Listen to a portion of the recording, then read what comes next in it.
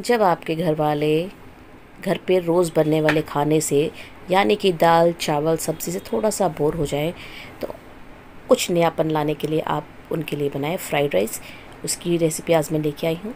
तो चलिए फिर वीडियो शुरू करते हैं। सबसे पहले मैंने एक वॉल राइस का लिया है। इसे मैंने फ्रिज में रखा था, ये बिल्कुल ठंडे हो चुके हैं। आप राइस को फ्रेश बना लीजिए। उसके बाद आप इन्हें फ्रिज में रख दीजिए। फ्रिज में रखने के बाद ठंडा होने के बाद ये एकदम परफेक्ट बनेंगे। तो देखिए, ये कुछ इस तरह से मैंने चावल बनाए थे। कितने खिले खिले चावल बने हैं। मेरे चैनल पे खिले खिले चावल बनाने की भी रेसिपी है। इसे देखने के बाद, वीडियो को देखने के बाद आप उसे ज़रूर विज़िट कीजिएगा, तभी बनाइएगा। तो चलिए, अब मैंने एक पैन लिया है और उसे मैंने गैस पे रख दिया है। और उसमें मैं ऐड कर रही हूँ एक से डेढ़ चम्मच रिफाइंड ऑयल का।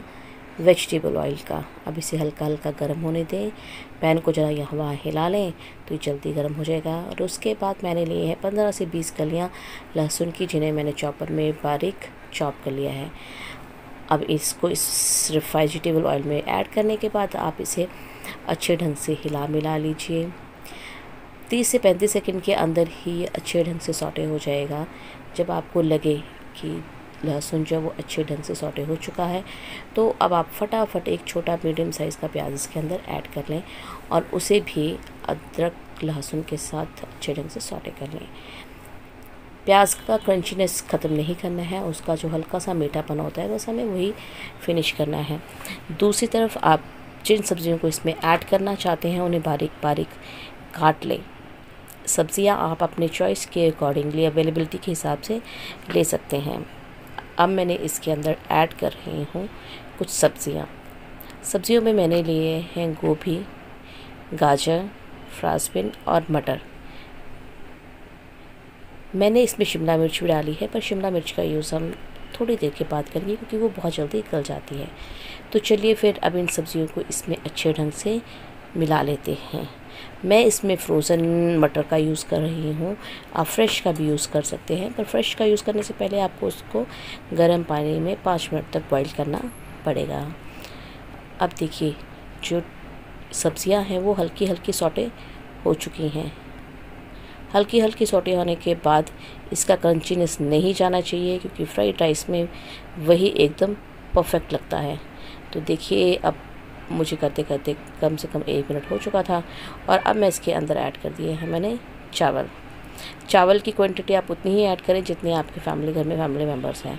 तो मैंने इसमें आराम आराम से चावल जो है वो ऐड कर दिए हैं।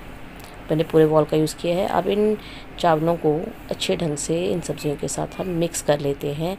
आप इन्हें टॉस भी कर सकते हैं। आप अपनी कलाकारी यहाँ पे दिखा सकते हैं। अगर आप टॉस नहीं कर सकते हैं तो आप इन्हें मेरी तरह ही फोल्ड कर सकते हैं। और अब मैंने इसके अंदर डाल दिए है बारीक कटी हुई शिमला मिर्च। अब शिमला मिर्च को भी हम अच्छे ढंग से इन चावलों के साथ मिला लेते हैं। और मिलाने के बाद अब मैंने इसके अंदर डाल दिया है नमक। एकदम स्वाद के अनुसार और उसके बाद हम इसमें ऐड कर रहे हैं सोया सॉस सोया सॉस थोड़ी बहुत डार्क होती है, इसलिए मैंने एक चम्मच से कम सोया सॉस लिया और उसमें दो चम्मच पानी डाले हैं। और अब मैंने इसको इसके अंदर ऐड कर दिया है। अब इसे अच्छे ढंग से हम मिला लेंगे। मेरे चैनल पे और भी बहुत सी रेसिपीज़ हैं जो आपको बहुत अच्छी लगेंगी, उन्हें भी ज़रूर विज़िट कीजिएगा। अगर आपको ये रेसिपी पसंद आ रही हो तो उसे लाइक ज़रूर कर दीजिएगा। अगर आप किसी के साथ शेयर करना चाहते हैं तो वो भी आप बिल्कुल कर सकते हैं। तो देखिए, इस तरह से ये जो चावल हैं, हमारे फ्राइड राइस हैं, वो बिल्कुल बन के तैयार हैं। ये बिल्कुल उस स्टेज पे पहुँच चुके हैं कि अब हमें इनकी सर्विंग करनी चाहिए। तो चलिए देख बार, एक बार फिर से इन्हें अलट पलट लेते हैं और अब फाइनली जो चावल हैं, हमारे फ्राइड राइस है, देखिए, वो बन के बिल्कुल तैयार है। कितने खिले खिले चावल बने हैं। चलिए तो अब इनकी हम प्लेटिंग करते हैं। एक प्लेट ले ली गई है और उसमें आपके लिए सर्व किया जा रहा है।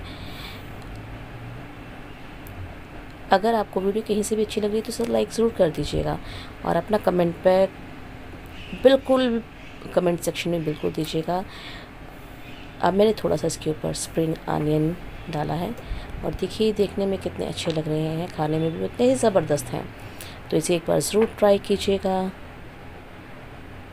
बच्चों को ज़रूर खिलाइएगा फैमिली मेंबर ज़रूर खुश हो जाएँगे और रोज़ जो आप खाना खाते हैं, उससे थोड़ा सा हटके बनेगा तो सबको पसंद आएगा। आज के लिए इतना ही जल्दी एक नई रेसिपी के साथ फिर आऊँगी, तब तक के लिए बाय बाय